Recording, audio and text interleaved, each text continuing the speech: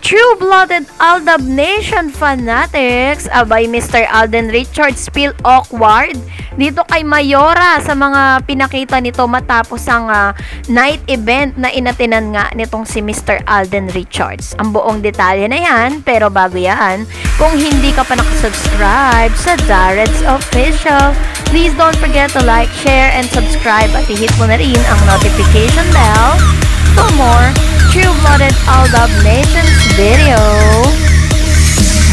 And of course, bago po ang lahat, nais ko po munang pasalamatan ang lahat ng mga Aldab Nations who continuously watching all our updates.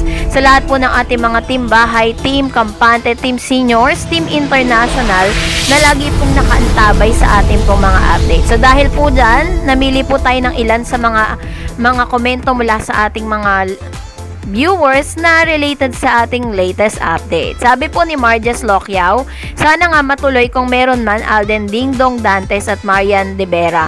Ano kaya ang teleserye? Sana nga matuloy sigurado pang wholesome yan kasi mag-asawa na si Alden at baka baka kasama si Main. Thanks sa update, ma'am. God bless. Amen. Thank you po, Miss Marges Lokyao. Yan, salamat po sa inyo pong uh, komento. And I think po, hindi po siya teleserye eh. Parang, uh, this is just something parang talk show or something na mapapalabas nga po sa GMA7 soon. Miss Adelia Day, Miss Darrell, thanks a lot for your legit update. Nakakataba ng puso. Sobrang blessed ang May chart. Kahit solo project sila, let's support both of them. They are real and loving couple. Job lang, walang personalan. God bless Aldab. More power, Ma'am Darrell and ADN. Thank you po, Miss Beautiful Adelia Day for your beautiful comments at nakakataba rin po ng puso na meron po tayo mga ADN na katulad po ninyo na very supportive para kay Alden at Kimin and of course sa ating pong channel. And of course, we still have another Miss Ninita Santillanosa, Miss Dareds, hindi po sila phenomenal dahil wala namang kagilagilalas or nakakapagtaka sa pagsikat nila. Ang tunay na phenomenal ay ang Aldab dahil bigla na lang silang sumulpot sa industriya ng showbiz. True po yan at wala pong makakabura sa history na ginawa ng Aldab na kumbaga inilagpasan nila ang lahat ng mga artista sa G GMA7, nilagpasan nila yung mga talagang millennials or parang napakatagal ng artista pero sila biglang pabulusok yung kanilang pagsikat. Kaya naman tinagurian silang phenomenal star mula noon hanggang ngayon. At wala pong makakapantay doon. Sabi po ni Miss Virginia Victorio, admin, pag dumating naman siguro yung time na yon na pagsawaan na si Alden, at least established na siya at marami na siyang ipon at naipundar. Pero I don't think that will happen too soon. Totoo po yan, Miss Virginia Victorio, kasi si Alden po kasi very futuristic po yung kanyang pag-iisip. Sabi niya nga po sa kanyang mga interview na ginagawa niya ang lahat ng ito for the best future of her, his family.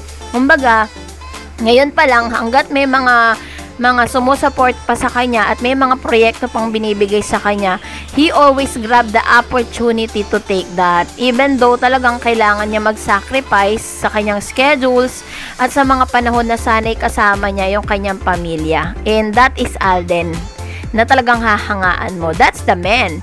Biggie Paradina, thank you sa update mo sa aming mga Aldab. Araw-araw pinapanood ko ang vlog mo. Thank you po Miss Vicky Paradina for always keep watching all our updates and for trusting our channel with regards to our BBs. Mr. Alden and Main Mendoza.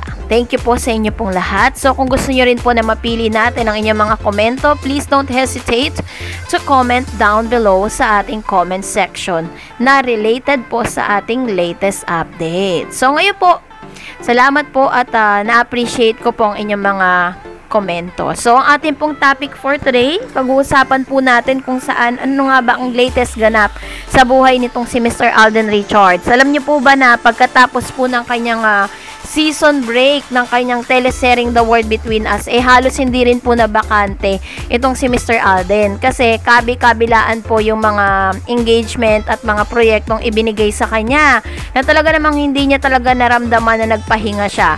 Isa na rito yung isang event na inatinan nga ni Mr. Alden Richard sa Santa Rosa, Laguna kung saan imbitado siya sa night event na ito at naririto rin si Mayora.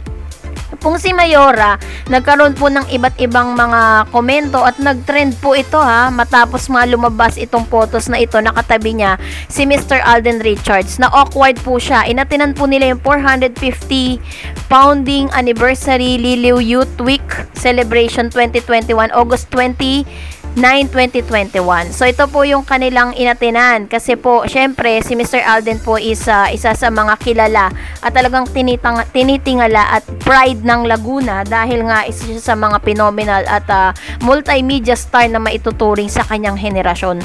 So, dahil dito, hindi nga nakalimot si uh, Mayora na imbitahan itong si Mr. Alden Richards. Nakita natin sa photo sa magkatabi sila at si, si Mr. Alden, ito do face mask. Samantalang itong si Mayora eh talagang sobrang wala siyang uh, face shield at wala rin siyang face mask na isa sa mga pinanggigilan ng lahat ng mga naka- nakakita ng photos na ito dahil nga naman parang hindi nag-iisip si Mayora sa kanyang ginawa kahit na sabihin mo magpapa-picture siya Ba't naman po si Alden, hindi naman po siya nagtanggal ng kanyang face mask. Alam naman natin kung gaano ka delic- delicate, kadelikado ang ating pong panahon ngayon. Lalo na si Alden, meron po siyang pamilya Although naka ano po siya nakahiwalay dahil nga ayaw niya rin na syempre alam niyo na po na makahawa pa siya ng iba.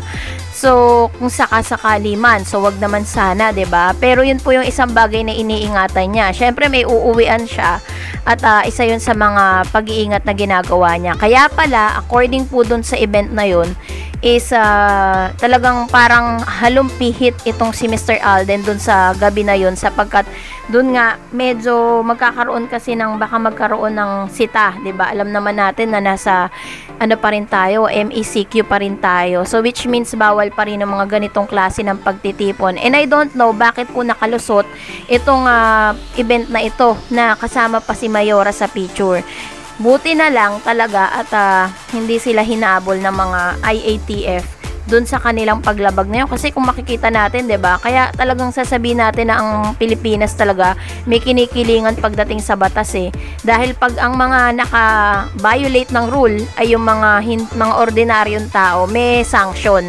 Samantalang kapag kilala ka katulad ni Mayora, 'di ba?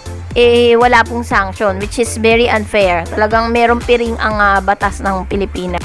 At isa naman sa mga talagang pinanggigilan ng lahat ng mga ADN kung paano nga dumikit-dikit itong si Mayora kay Alden nang wala siyang mga mga safety things na nakalagay sa kanya mukha. Alam naman natin na very ano pa tayo, under the pandemic pa rin tayo. So, very awkward lang sa part ni Alden Richards na may ganitong klase ng pangyayari sa kanyang buhay na hindi niya inaasahan. Si si Mr. Alden kasi is just si parang uh, ewan ko ba, parang minsan kasi na nane-neglect niya na yung sinatawag na safety. So sana okay lang siya. For more videos about this, please don't forget to like, share, and subscribe and hit the bell for more updates. Thank you for watching. God bless you all.